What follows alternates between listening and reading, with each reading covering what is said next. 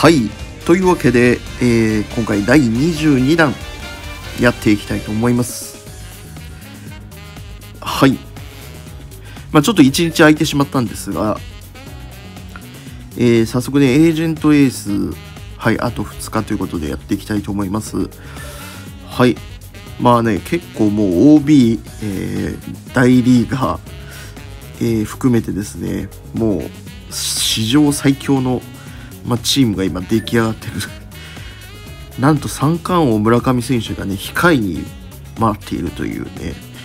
なんともやばいチーム。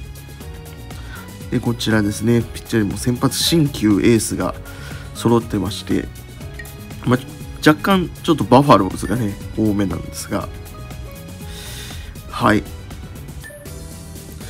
どえらいオーダーになりましたね、まあ、こういうゲームなんでまあそりゃそうなるわなっていう感じなんですけど。はい。まあ早速なんですけどね、まあ、ベイスターズとしてはまあ嬉しい出来事がございましてなんと山崎康明投手残留ということでね。はい。まあ結構ねもう昔からの夢である山崎選手の大リーグということなんですけれども、まあ、それでもあのね感動しましたね。涙ながらに。残留発表するということで、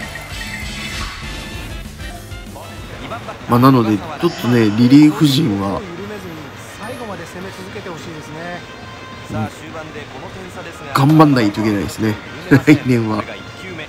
本当にもう本当にリリーフ投手陣が固まれば優勝は全然ありえると思いますんではい。もう来年本当期待したいなというふうに思います。まあ今年のまあ打撃陣はねほぼ固定でいいかなと思ってるんですけどうん。あとはね京田選手とかがねちょっとやっぱピークの時ピークをピークを持ってきてもらえるピークを持ってきてもらえるという日本語よくわかんないですけどになれば、まあ、非常にですね、まあ、ショートも、まあ、以前ちょっと森選手を使ってほしいなっていうのもあったんですけど、まあ、京田選手が来ちゃったらねちょっと話は若干ちょっと別でえー、っとですねやっぱ優勝を狙うにはっていうところですね、まあ、京田選手もねそんなにまだ20後半ぐらいか。なんで全然ですねあのーいけると思いますんでね。まあだからもう大和選手は申し訳ないですけどバックアップというかいう感じになるのかなと思うんですけど青柳選手き来たんで山岡山岡選手と交代ですかねこれは。うん。まあなんとも豪華な ピッチャー陣ですが。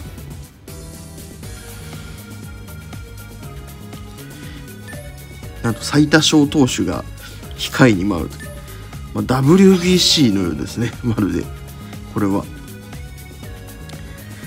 まあ、岩隈選手はねもう OB なんであれなんですけど。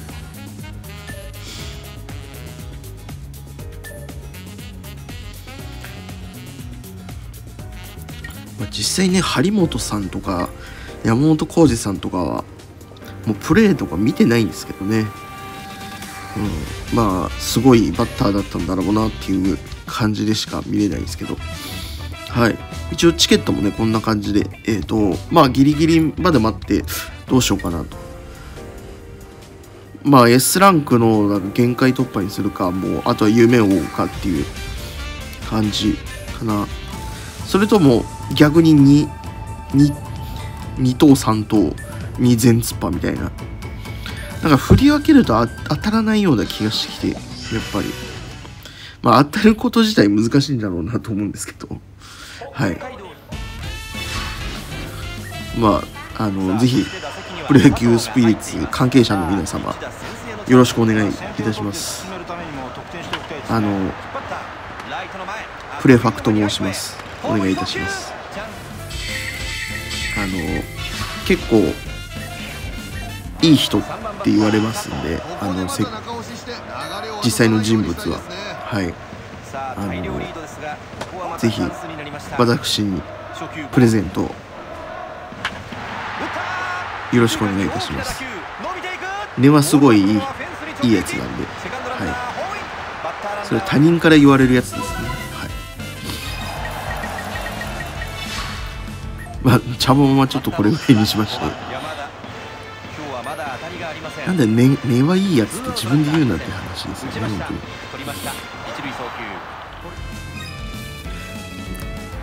あんまりこういうこと言うと自分でこういうの何連発もすると面白くないですよね。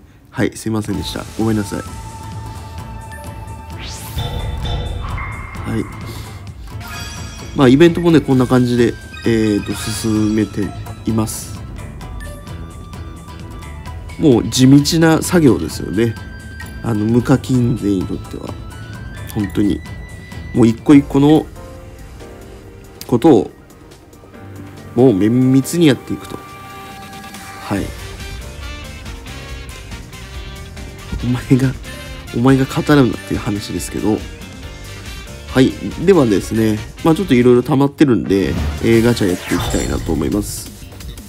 一応ねこれで S ランク当たんなかったらちょっとねあのもう一回あの大谷選手当てに行きたいと思います。はい。11連ガチャのやつですね。この辺はねもうもうゴールド契約書はね、まあ、本当に A ランク S ランク当たったら本当ラッキーだなぐらいの感覚でいます。はい。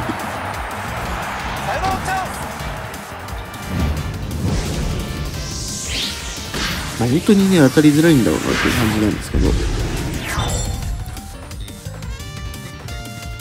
うん。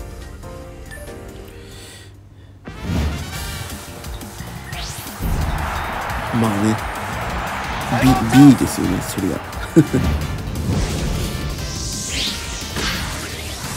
まあね現段階ではね全然いいんですよね。うん。あ今永選手来た。一応限界突破できるな。B ランクだけど。はいじゃあ問題ここからですね。うん。これは自チームの A ランク確定がということで誰が当たるか。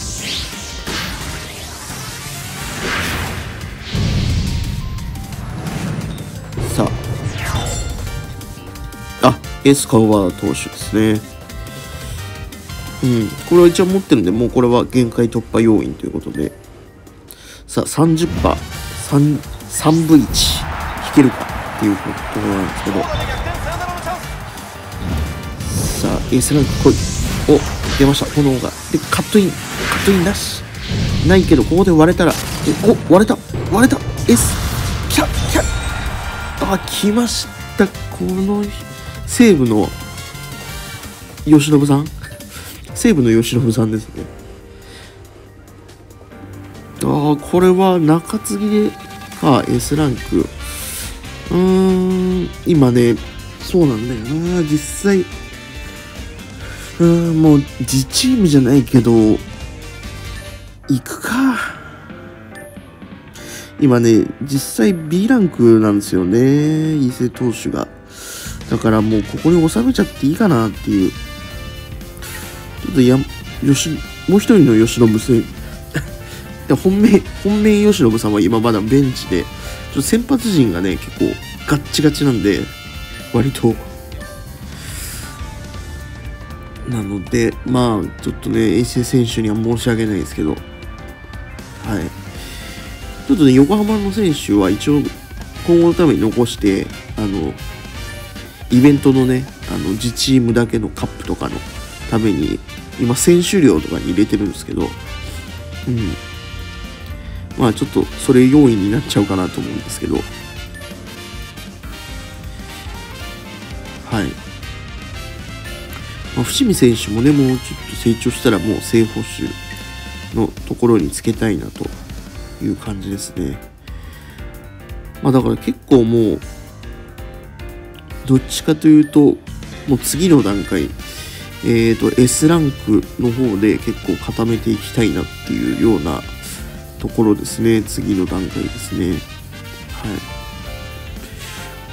まあ理想としてはね、やっぱ自チームの S ランクですげえ固めたいなっていうのはあるんですけど、ちょっとね、内野がね、若干、うん、